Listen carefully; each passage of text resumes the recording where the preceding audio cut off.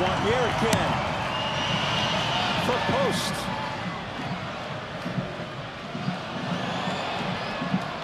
Choinière. Up the line and on the. A goal for Montreal.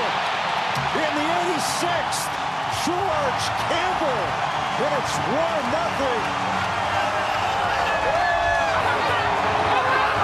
when you do that